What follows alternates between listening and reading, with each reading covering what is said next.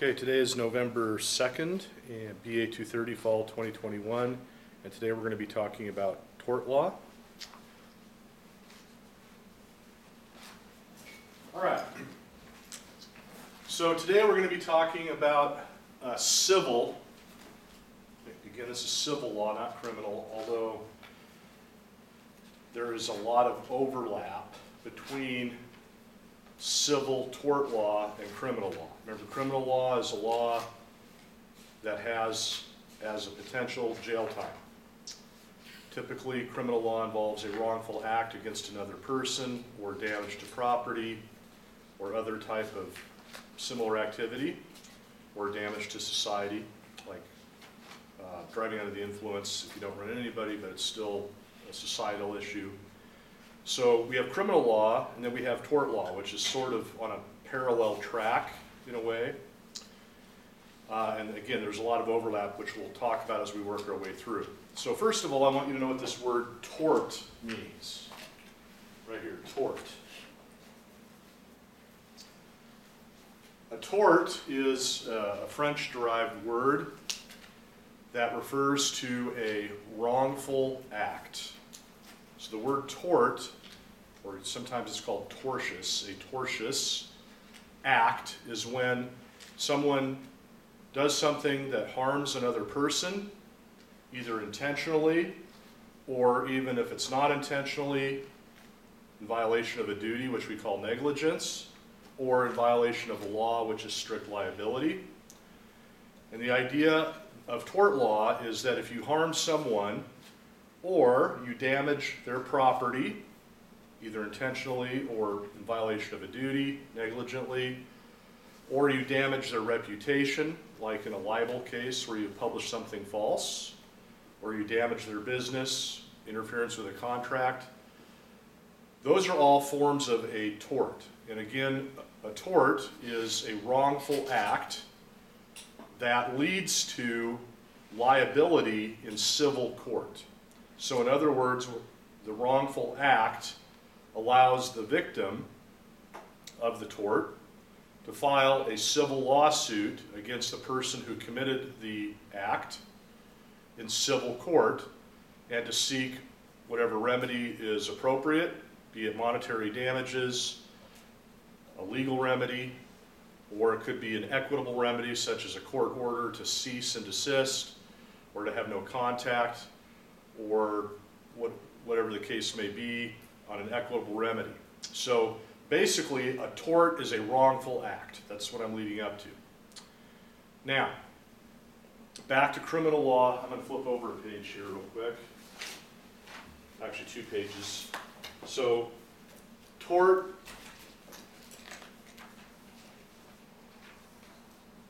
means a wrongful act whereby the person who committed the action can be sued and held liable in civil court for that wrongful action. Now, let's go back to page 53. So I want to talk about the interaction of criminal and civil law. And essentially, here's the, the, the idea. A person may commit a wrongful act against someone else, or a business, or whatever. And that action could be a crime that is violation of a criminal law. It could also be a tort, the very same action. So they may be prosecuted for the crime. They may then be sued in civil court for a tort, and potentially it would also be a breach of contract. We'll get into contract law uh, probably starting next week. So let me give you an example of what I'm talking about. We have this interaction of the various different types and categories of law. So let's say I am your uh, financial advisor and you hire me to run your retirement plan for you and your employees. And so we enter into a contract and I'm going to charge you a fee in exchange for providing these services, financial advice, and that kind of thing. So let's say I essentially start taking money, skimming money off of your retirement plan. So that's a crime, that's theft. It's also a tort. It would be conversion, among other things, fraud, deceit, among other things. And that's also breach of contract, because I have a contract with you where I will provide you with financial advice in exchange for a fee, but I'm not, it doesn't allow me to skim money. So that one same action, taking money that I'm not entitled to as your financial advisor, I could be prosecuted for the crime and put in prison. I could also then be sued for the very same action in civil court for various torts that I've committed, and also sued for breach of contract in that same civil lawsuit. So the point I'm making is one action may violate multiple different categories of law criminal, civil, tort law, criminal, civil, contract law, and potentially other areas of civil law. And so we have this interaction between criminal and civil law that they're kind of intertwined with each other. Now, again, remember, if it's a criminal case, that can only be prosecuted by a government. So the criminal case would have to be initiated by the government, either the federal government or a state government. And the proof has to be beyond a reasonable doubt. I don't think I have that in there, but.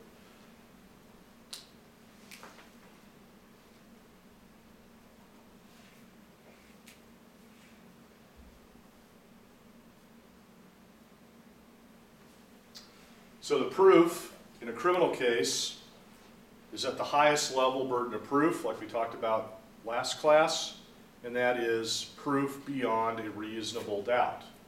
Very high standard. So the civil case, that's both contract law and tort law, civil. In a civil lawsuit, the individual person has the ability to file a civil lawsuit, in, in, in essence, prosecute the case themselves. Now, that's usually done with an attorney representing the person. In fact, that's what the word attorney means. I don't know if you knew that, but attorney at law. The word attorney comes from attornment, which is a word that means you are doing something on behalf of someone else. So when I'm an attorney at law, I'm doing, I'm representing you for legal purposes. You can also have other kinds of attorney, like power of attorney, where I could appoint my brother as power of attorney and he could re- act on my behalf to sign checks and pay my bills and that kind of thing. Sorry, a little aside there, but anyway. So, in a civil tort case, unlike criminal, the individual person or their family, maybe it's a wrongful death case, and so the family sues, has the ability to file their own lawsuit. Now, again, the proof standard in a civil case is preponderance of the evidence.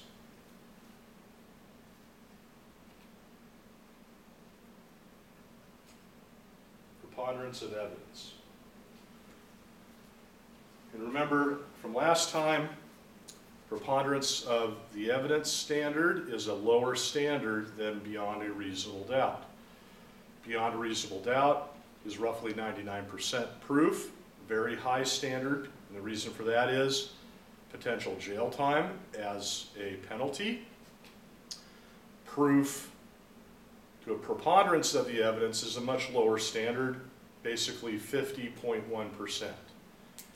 Now, what I'm leading up to here is another kind of interesting situation. A person may be accused of a crime.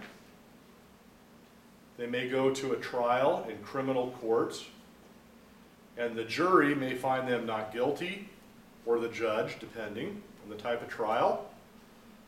So they may be found not guilty of the criminal case because there was insufficient evidence to prove they were guilty beyond a reasonable doubt. So they're found not guilty of the crime. But they may then be sued in civil court for the very same situation, and they may be found liable in civil court And the reason why is it's a lower burden of proof. That's the O.J. Simpson murder case, right? O.J. Simpson was found not guilty of homicide in criminal court, but he was sued in civil court for what's called wrongful death, which is the civil equivalent in tort law of homicide. And he was found liable in civil court. And the reason why is it's a lower burden of proof. All you have to show is that there was some causation. You don't have to prove all of the criminal elements of a homicide. So found not guilty of the crime because it's a higher level burden of proof, but then found liable in civil court. And that happens here and there. Now let's flip it around. If a person is convicted of a crime, they're essentially automatically at fault in civil court because they have already been convicted on a higher standard of proof, that is, beyond a reasonable doubt. So if you're convicted of murder, essentially you're automatically liable for wrongful death because you've already been convicted on a higher level burden of proof. So it's kind of an interesting thing. So that's also a common situation where somebody commits a crime, they injure someone, maybe it's driving under the influence and they get into a car wreck and they hurt somebody, they're convicted of the DUI, they're then sued in civil court for the injuries that they caused. And essentially they're automatically at fault. Now I'm not going to get too much more into that interplay, I want to really focus more on the specific types of torts. But I want you to understand as we work our way through this list of torts, and then negligence and strict liability, the three categories, oftentimes the examples that I'm going to be giving you are also a crime. So you're going to say, wait a minute, you can't do that, that's illegal. Yeah, it is. It's a crime, but it's also a tort, okay? So we're going to be focusing on the civil torts and oftentimes they have the same name as the crime, and oftentimes they don't. And I will also let you know that it depends on what state you're in, because each state has their own different tort laws, and they go by different names from one state to the next. So it's not uniform across the country, uh, but we're going to go over the, the most common ones and the common names. All right, so with that said, back to page 52.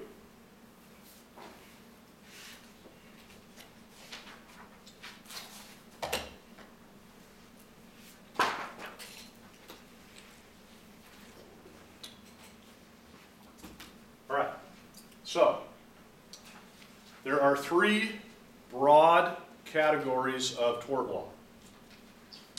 The first are torts that are called intentional torts. These are wrongful acts that are committed intentionally, purposefully. They're done, that's what the outcome was wanted by the person who committed the wrongful act. They did it on purpose, basically. Typically, an intentional tort is a worse kind of a tort in many ways because it is done on purpose. Oftentimes, an intentional tort is also a crime. That's pretty common. So, today we are going to focus on intentional torts, and I'm going to give you a list here of, I believe, 17 of them if I remember correctly. And I want you just to remember that these all require some level of purposeful conduct, intentional conduct. Not accidental, not unintentional, but a purposeful, not necessarily premeditated, meaning you thought about it ahead of time, but at the time, at the moment, the action was done intentionally. The next type of tort is called negligence. Negligence is more common. In fact, it is, I would say, the most common type of a tort. Negligence is based on the idea that everyone has an obligation or a duty or a responsibility, whatever word you want to use, to other people at all times in all things that they do in everyday life, be it driving or whatever. And you cause an injury to another person or you damage their property or you damage their reputation or whatever, you've caused them some harm, but you did not do it on purpose. In fact, you did not want that harm to occur in the first place. But you were negligent, you violated a duty, and therefore, even though you didn't intend to cause the harm, nor did you want to hurt the person or damage their property, but you did as a result of not following a responsibility level that you were required to follow, a duty. Classic example of negligence is an automobile accident. You're driving down the road, you're playing with your radio, and you don't see somebody in the crosswalk and you run into them. Now, you didn't want to do that. You did not do it on purpose. You just weren't paying attention. Well, that's not an excuse. You will still be responsible, liable in court because you were negligent. You failed to follow your duty, which is violation of the, the crosswalk rules under state traffic code. Failure to yield to a pedestrian is the technical term. You failed to keep a proper lookout. That led to the accident where you hurt someone. So it doesn't matter that you did not mean to do it. You are still responsible for paying for the damages that you caused. Medical bills, lost wages, pain and suffering, disfigurement, loss of use of maybe the leg and the function of the leg. Somebody can't ski anymore or something like that. So you will be responsible for all that. That's why you have to have insurance, because the insurance will help pay for that. All right, so at the top we have intentional torts. Below that we have negligence, which I like to call, I don't like the word accident, I like the word unintentional, meaning you didn't intend to do it, but you're still responsible.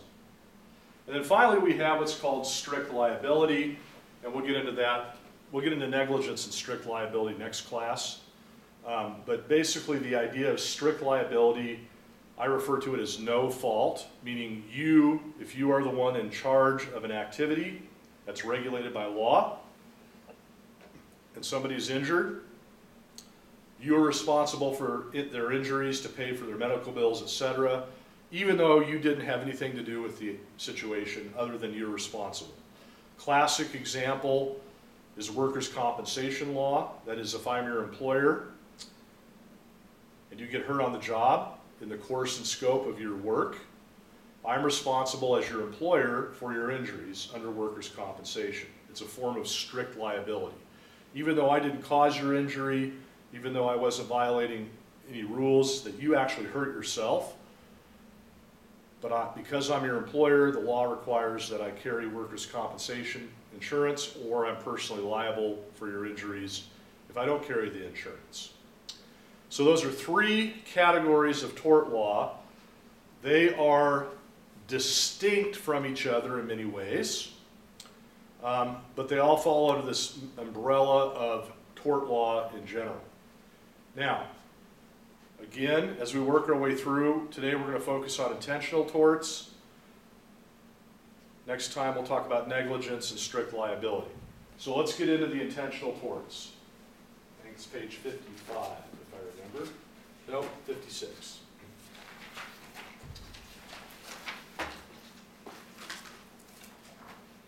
All right. So as you can see here at the top, before I get going, for a fill in the blank question, this is a 100 percenter. I always ask this on the midterm list six types of intentional torts. And I believe on this page and on the next page, that's where they're coming from. I think there are 17 of them altogether, if I remember. so I want you to list six. Now, again, as we work our way through these 17 various torts, all of these are intentional torts. And what I mean by that is you can put the word intentional in front of the name. So intentional battery, intentional assault, intentional infliction of emotional distress. So all of these torts on these next two pages will require proof that the person that committed the action did so in some form of intentional or purposeful way. In other words, they are not accidental, unintentional. There has to be some level of thought or uh, action involved that was done purposefully, okay? So let's start off with the classic intentional tort, that is battery. All right. Battery is the intentional, that is, you did it on purpose, harmful or offensive contact with another person without consent or justification. By definition, a contact is harmful if it produces an injury. All right, so let me break that down. We call these elements. These are the elements that need to be proven in court if you sue somebody for a battery.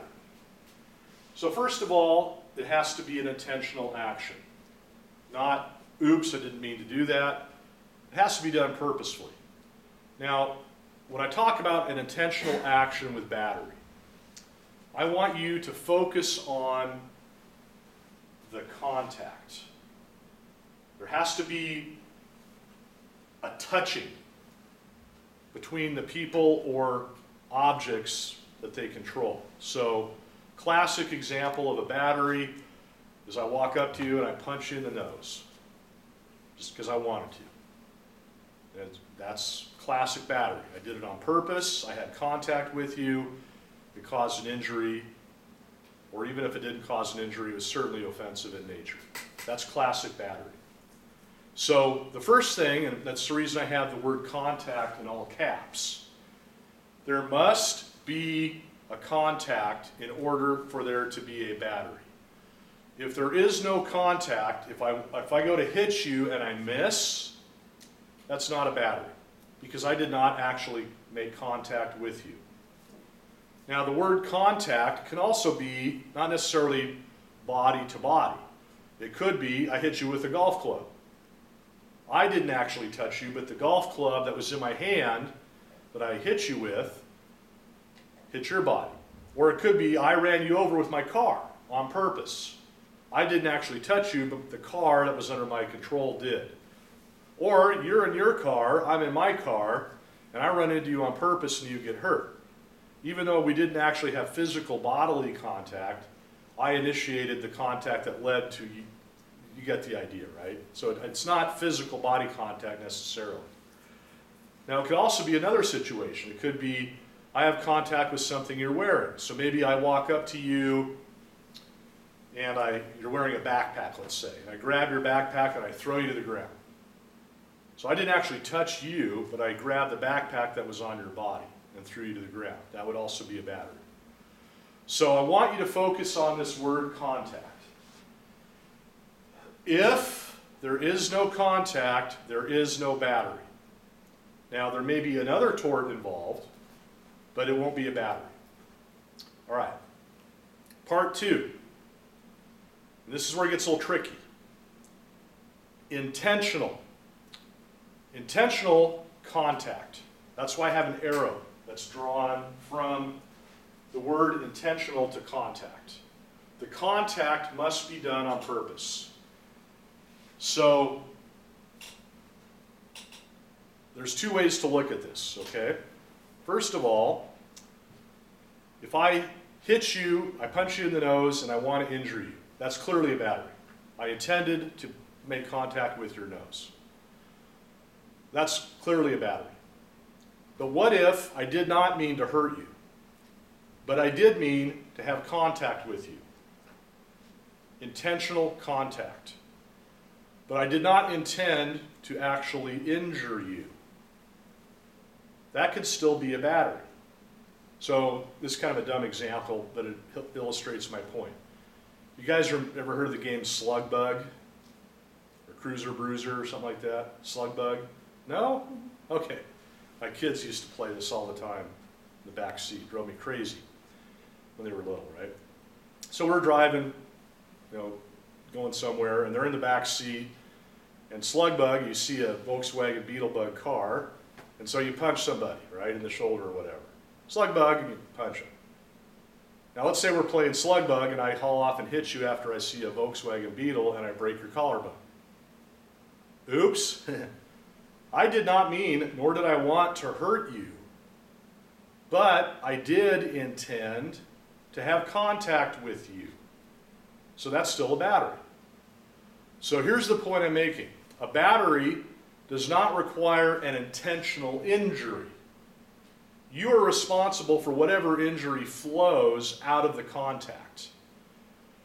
However, the contact must be intentional. So if I'm reaching to, this actually happened to me. I was reaching to get my wallet. I was in line at Trader Joe's.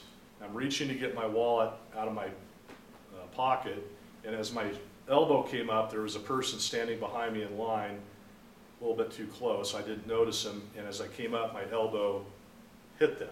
Now, unfortunately, they weren't hurt, but I was thinking about that. That was an unintentional contact, right? So the idea is the contact must be intentional. That's what I want you to focus on. So it's not the injury. So true or false, in order for there to be a battery, you must intend to injure the person. The answer is false. Doesn't matter that you didn't intend to hurt them, it's the contact that leads to it. All right? So, there's basically two points there. Point number one clearly it's a battery if I intended to hurt you. That's not even a question. But it could still be a battery even if I didn't intend to injure you, but I did intend to have the contact. That's the slug bug example. All right? So, it must be a purposeful contact. All right, let's look at the next two elements harmful or offensive. Harmful or offensive. I have the word or highlighted there for a reason. A battery requires either harmful or offensive contact. So, harmful is the easy one. Let's start with that. Harmful is an injury caused you harm, an injury, that's easy. But a battery may also occur even if there is no physical injury. If the contact that was intentional is offensive. And a classic example there is maybe going up to somebody and spitting in their face on purpose. And it doesn't necessarily cause a physical injury, assuming there's no communicable diseases or anything like that. It's just gross, right? Clearly offensive. You did it on purpose, it's an offensive contact. Or another classic example of an offensive type of battery is maybe somebody is at a restaurant and the server comes up and they swat him on the rear end. Didn't cause any physical injury, it was done intentionally, but that would be considered an offensive contact, right? Um, or something like that. Actually, pro- I, the spitting example is also potentially a crime. It's a class B misdemeanor called harassment. I prosecute people on that. So, um, so the point I'm making on battery is it requires either an injury or an offensive contact. So true or false? In order for there to be a battery, there must be an injury. Answer false. Why? The contact may not cause an injury, but it's, if it's offensive, then it's still a battery. Now, the way it works in the real world is typically the worse the injury, the more money is awarded, right? Um, or money may be awarded in an offensive contact even without an injury if on a, punitive level to punish somebody for the offensive contact that they had. So the contact must be intentional. There also must be a harmful or offensive. So don't get, I actually have that test question that comes up. True or false, there must be an injury. That, that's one that gets generated quite often for my midterm. All right. Without, let's go to the next elements here, without consent or justification. So, consent. A person may consent to a battery. You agree to it. Now, when would you do that? Well, people do it all the time. Surgery, right? Surgery is a battery. A surgeon goes in and cuts you open on purpose. That's a purposeful injury caused by a surgeon. But you consented to it, or at least hopefully, unless they operated on the wrong knee, something like that, took out the wrong kidney. Ooh. That's called medical malpractice. So a surgery is a form of a battery. However, it's not a tort because it's done with consent. That's why whenever you have surgery, you sign all that's called informed consent. All the forms, sometimes like in knee surgery, I've seen doctors have little stickers they'll put on that look like a stop sign. And they put it on the knee that's not to be operated on. And then you take a Sharpie and both you and your doctor initial the knee that is to be operated on. That way the doctor doesn't mess up. So it's an informed consent. That's one form of a battery that is consensual. Can you think of other types of contact that may lead to an injury that you do on purpose and you agree to? All the time. There's sports channel, or I already said it. There are channels dedicated to it, right? Sports. So football, basketball, you know, mixed martial arts. Pretty much any sport, there is an element of potential contact involved, or that's the whole game. You know, uh, golf, uh, ping pong, high contact sports, right? That's a joke. Come on. So the idea is that you consent by engaging in the activity to the contact that is relative to the activity. Some sports obviously have more contact than others. So that's a form of consent. All right, the next word is justification. Justification is a fancy way of saying uh, you were acting under a legal right to do that. So, one form of justification to a battery is self defense. You are defending yourself because you had a reasonably a reasonable belief that you were going to be harmed by the person, and so you're defending yourself or another person. That's one form of justification. Uh, making an arrest by a police officer uh, is another form of justification. Uh, certain kinds of restraints uh, for you know parenting and, and children, that kind of thing, has to be reasonable. So the idea of justification is there is a legal right to do what was done, and that's a defense to battery. So consent or justification.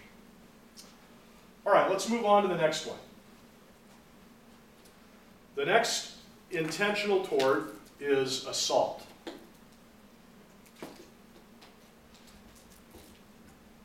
Assault is basically the threat of committing a battery, but there was no actual contact. Now, these two go together hand in hand assault and battery. You hear that all the time. So, basically, an assault is putting somebody in fear. Again, you're doing it intentionally, putting someone in fear that you're going to have contact with them or threatening a battery. So, if I pull out my baseball bat and I start chasing after you, screaming, I'm going to hit you, I'm not the fastest runner, and you clearly you can outrun me around me three times before I go anywhere. So I'm threatening you, and you run away. Now, I didn't actually have contact with you, but I put you in fear of an imminent battery. And I did that on purpose. I scared you on purpose. There's no actual contact made, but the threat was intentional and imminent. That is right now. Not, hey, I'm going to hit you with a baseball bat a year from now on you know, Tuesday, um, that's not imminent. It has to be an imminent threat. So basically, an assault, I swing my bat and I miss. A battery, I swing my bat and I make contact. Now, here's what's interesting. Well, not really interesting, but a little point. An assault does not require contact. But it does require fear. That is, the victim must actually have been aware and have been put in to a position of being afraid. So part of an assault is the victim having knowledge of the imminent threat. And the theory behind that is that there is a, even though you haven't physically harmed anyone or made contact, the act of putting somebody in fear in and of itself is a form of an injury. It may be uh, you know, an emotional or psychological type of an injury. But the fact of being put in fear is an injury that is compensable. That's the basic theory behind that. So a battery does not necessarily require knowledge by the victim, but it requires an intentional contact that causes harm or is offensive. So let's say a person's in a coma, and I swing the bat at them and I'm threatening to hurt them, but they're in a coma. They're totally unaware of what I'm doing. So you can't really have an assault because the person's in a coma. But you can have a battery. Even though they're in a coma, if I injure them on purpose, that is still a battery. So it's, it's kind of an interesting concept there. So an assault requires an intentional threat, imminent, meaning right now, that actually puts the victim in fear. No contact is necessary, but the person must actually be aware of it. In a battery, there must be contact, not necessarily an injury, but it doesn't matter if the person's aware of it or not. All right. Now, obviously, you can have both of these. When I pull out my baseball bat and I start chasing you down, screaming, I'm going to hit you, and I catch up with you and then I do hit you, that's both, right? Also, these are usually also a crime. Now, this is where it gets confusing. I won't test you on this, but just so you know for the real world. In Oregon, the criminal act of a battery is actually called an assault. We have four different levels assault first, assault one through assault four. I remember we looked at assault two with the belt buckle case. So that's the criminal equivalent. So we don't call it a battery in criminal law, we call it an assault. In Oregon, an assault in criminal law is either a harassment, which is uh, a form, or, uh, excuse me, battery may also be a, a harassment if there's no injury. In Oregon, an, a, a civil assault in criminal law is called menacing. Menacing, putting somebody in fear or threat, or it may be some other crime like pointing a firearm at somebody. You don't actually shoot them, but you're scaring them. So um, they go by different names. All right, next we have false imprisonment.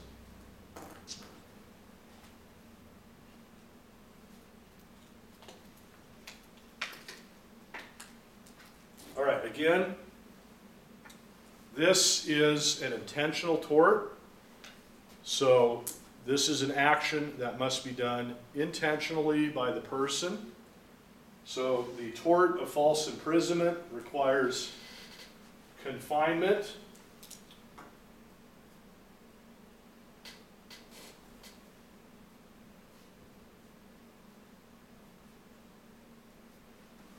And I wrote up here or movement,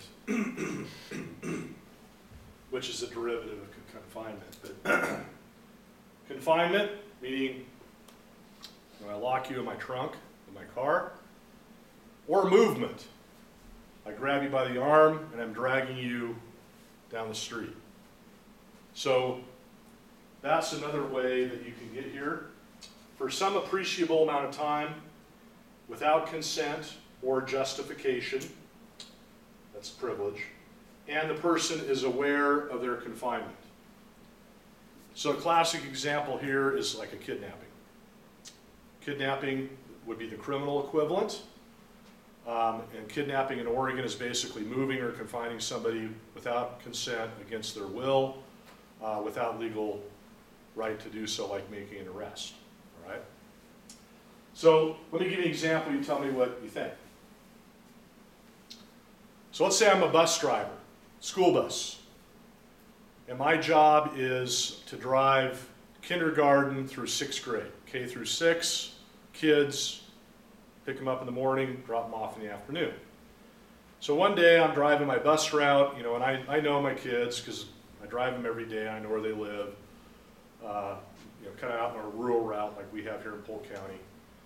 And so one day I'm driving back to the bus barn after my shift, and I don't notice that little Johnny, who's a first grader, is asleep in the back seat in the bus. And so I go and lock the bus up in the bus barn for the night, shut off all the lights, lock the doors, and I head on home for supper. Of course, little Johnny wakes up in the middle of the night. The parents are going crazy because they don't know where their child is. Little Johnny is afraid and screaming, and eventually we track him down at 3 in the morning in the bus in the bus barn. Is that this tort? We have confinement, appreciable amount of time. Well, Johnny is aware of the confinement, all of those things. No justification for me to do that. But is it that tort? If not, why not? Yeah, you're shaking your head no. Why? Do you have no knowledge? Oh, you're on the right track. Yeah. That fall under the category of like negligence? Okay, yeah. So in other words, there's no intent. I did not intend, I think that's what you meant too. I did not intend to lock little Johnny in the bus barn. I just was not following my duty. That's the negligence side, so you're spot on. I was not following my duty to go through and make sure the bus is clear before I lock it up for the night. And also to make sure little Johnny got off at his bus stop, out there on the farm. So that's actually, those cases are pretty common. I mean, they're not like everyday thing, but you read about them, you know, probably once a year. Um, that they do happen quite often. So the idea is there has to be the word intentional in front of these. So intentional battery, intentional assault, intentional false imprisonment. So you guys are exactly on the right track. Now, yes, that could be negligence. So the intentional tort would lose in civil court. But negligence for failure for breach of duty as a bus driver, that's where we have that interlap. So yeah, we'll talk more about negligence next time. But yeah, there's inter there's interlocking or overlap um, on these torts. And you brought up a good point. Both of you did on that example because you may be sued for more than one tort. So there may be an assault, there may be a battery, there may be a, a false imprisonment, and there may also be intentional infliction of emotional distress.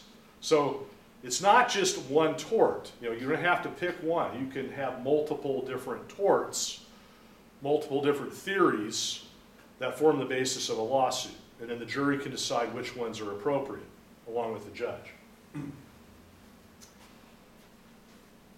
All right. Or without privilege. So privilege in terms of false imprisonment usually pertains to making an arrest. Uh, so let me give you another example. This is a case I had a long time ago back, oh boy, 93 maybe, uh, been a few years. So um, this was up in the Portland area, large grocery store, and a person basically uh, stole, oh, it was like a six pack of Dr. Pepper or something. Nothing major, theft three, which is a low level misdemeanor. Uh, so the security guard arrested the person, took him back to the back of the store where they had a little office. And in the office there, they had, you know, uh, concrete cinder or concrete blocks, and on top of the blocks, they had a two by 12 board. And so on the board, you know, basically a, a bench that they made. And on the board, they had bolted into the, the wood plank handcuffs. And so the security guard took the person back. Clearly, they had committed the crime of shoplifting. Took him back to the security office and handcuffed him to this board uh, bench and left him there for six hours before they called the police. Now, eventually, they called the police, reported the shoplift, and back then the police would show up for that. And the police showed up, arrested him for assault th- or theft in a third degree. Eventually, they pled guilty to the, the charge.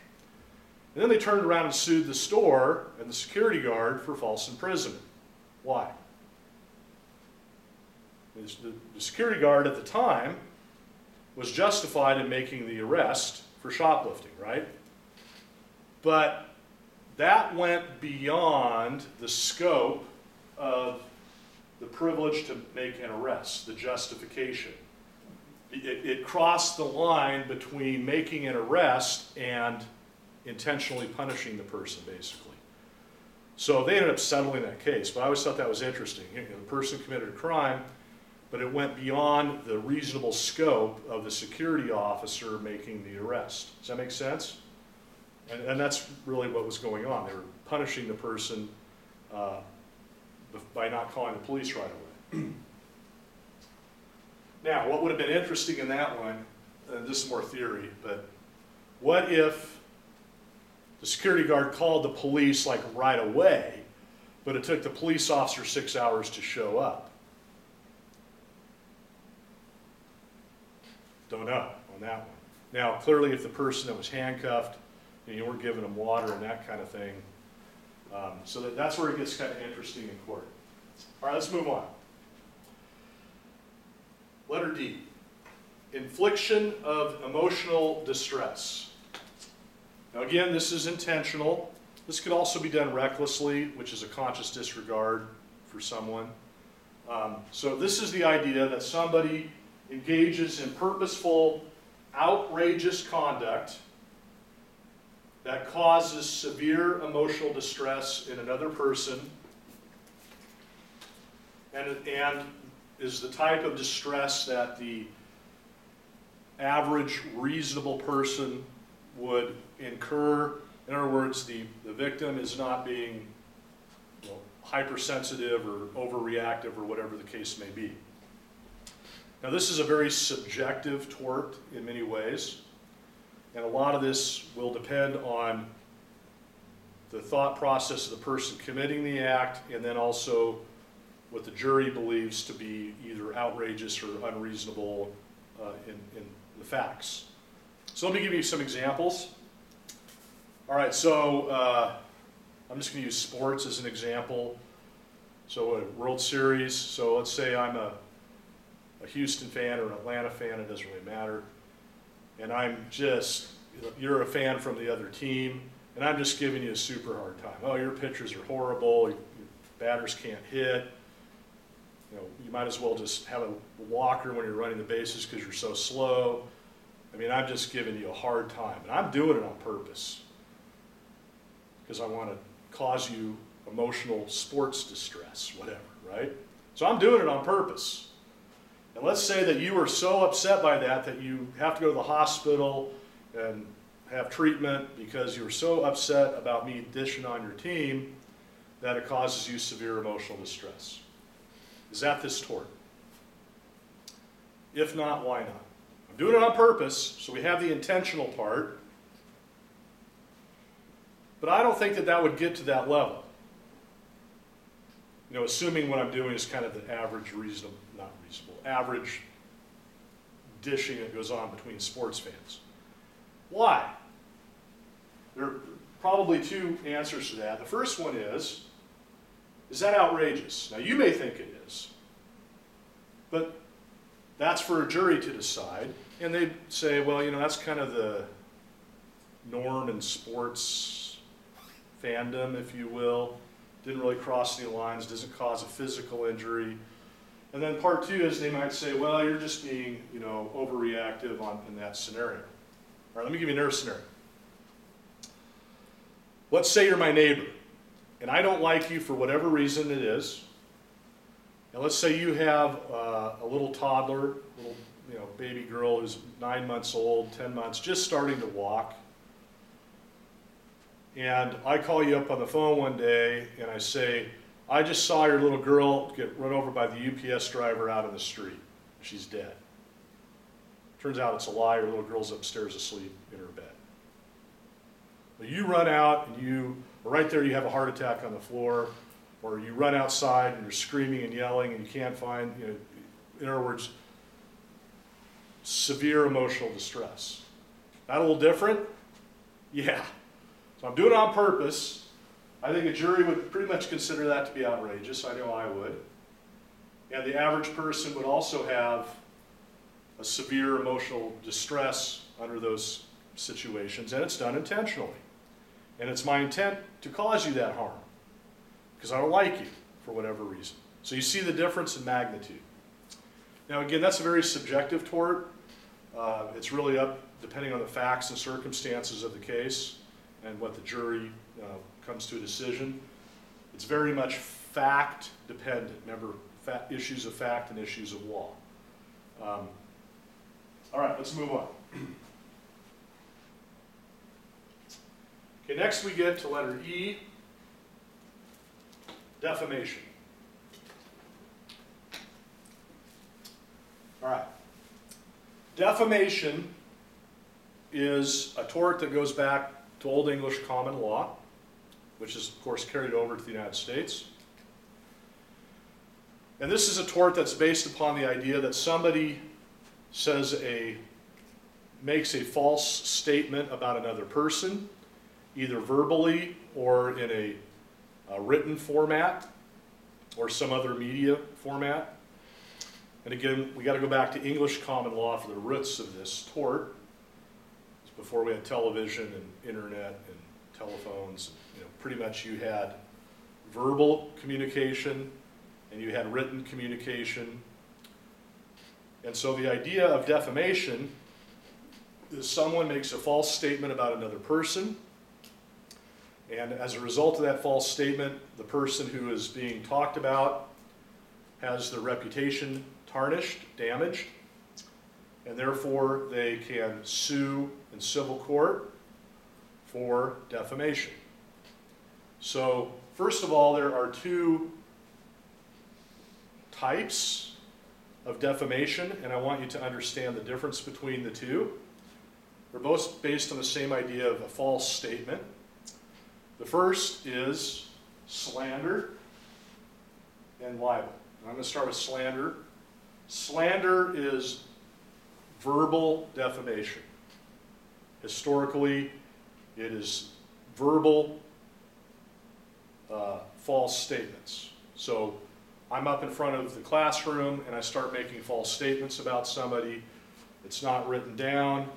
That's classic slander. Verbal lying about another person. Libel has its roots back, again, this is going back to English common law. Libel historically was written false statements that were published. So, a classic example is a newspaper story that was published on purpose, intentionally, knowing it was false with the intent to harm someone. So, the idea libel historically was written, slander was purely verbal. And that difference, uh, the reason why, is written libel was considered to be worse. And the reason why is when the false statement is published in a newspaper or a pamphlet or a billboard or whatever, it's there in a semi permanent uh, state. And you're never, you don't really know who may read that and when they may read it, even years from now. And so, because it's in this physical, semi permanent state, it, ha- it has a worse effect on damaging your reputation. So, libel, historically, and this is still true today, is considered to be worse than slander, purely verbal. So, I get up and lie about somebody in front of you know eight people or 20 people or 100 people, it doesn't really matter. But once I say the words, they're gone. They evaporate or whatever happens to my words. Whereas when I publish them, they're there potentially forever, especially with digital media, right? So now let's fast forward to today. Now we have all sorts of media. Obviously, we have newspapers, we have television, we have radio, we have the internet, of course, which is fertile ground for libel cases. Uh, we have TikTok and, and all of the different, you know, YouTube and this tube and that tube and your tube and my tube and their tube and up tube and down tube and all of them, right? And so we now have uh, all these different modes of communication. And so this line between slander and libel, where does it end and where does it begin? So let's just say talk radio, for example. That's a, a verbal format. You're listening to it. It's, a, it's an audio format. It's not visual, it's audio. But it, talk radio or, or podcasts on the internet for that matter, even though it's verbal in nature, it's different than me just talking to you face to face, right? Because it's in a medium, and that medium can be reviewed over and over again. So in that case, it's, even though it's verbal, it's more like libel than slander, under the theory that it potentially could last forever and be rebroadcast, etc. So essentially, the rule nowadays is anything that's in a hard, hard format or mass media format, including digital, is considered to be libel and not slander. Slander is still pretty much verbal communication only, um, or perhaps by telephone. Uh, that's not being recorded. It's you know a, a one-time conversation. So libel can be the internet, could be a statue, it could be a billboard, it could be radio, television, uh, TripAdvisor, Amazon reviews, all those things. That's where we're seeing a lot of activity in the digital realm is libel cases based on bad reviews. Um, that we're seeing a lot of that activity now.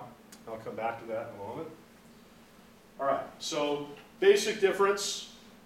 Libel, historically written or printed, but nowadays that also includes essentially any sort of mass media, slander, oral defamation. Now,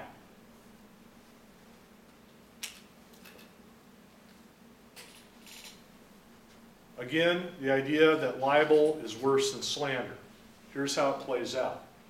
In a libel case, you don't necessarily have to prove that you actually had harm that resulted. The mere fact of publishing the false statement is sufficient for you to be able to file a lawsuit. Historically, slander, purely verbal, was different. Historically, slander also required that you could prove that as a result of the false statement, something bad happened to you. So somebody lies about me to my employer, let's say, verbally, and I get fired. And it's not true, so I sue for slander. I can prove that there was a direct connection between me losing my job and the false statement. So you had to be able to prove that there was some bad outcome. Where libel, you did not have to prove that. Now, there are exceptions to that. It gets a little bit technical, which I won't get into. Um, but for you guys, just suffice to say that libel is worse than slander in, in that respect. All right, let's move on. So the next statement, or the next issue, is publication.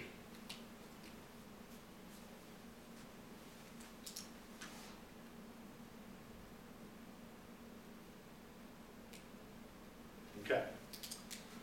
So the word publication uh, in everyday language, you, you know, it's a newspaper, whatever. But it, it, it's, it's more than just that. One of the elements that has to be proven is that the statement was made either in writing or verbally to a third party. In other words, if I walk up to you and I accuse you of being a heroin dealer, uh, child pornographer, and all kinds of bad things, and I say that to your face, and nobody else hears it, it's just about you, and I make it to your face, that's not slander, even though it's false, all the statements I'm making, because I did not say it to someone else. I didn't publish it. In order for there to be defamation, either libel or slander, or maybe I wrote you a letter and I handed it to you. Nobody else reads it but you. There has to be a third party that either hears it or it's made to the public at large, like on the internet or something like that. Now, if I do that to you, it's not defamation because nobody else is aware of it. And again, the idea is your reputation is not being damaged because I'm saying it to you directly. It might be another tort, however, it might be infliction of emotional distress or something, but it's not going to be defamation. So there must be at least a, one person that is told or given the information, otherwise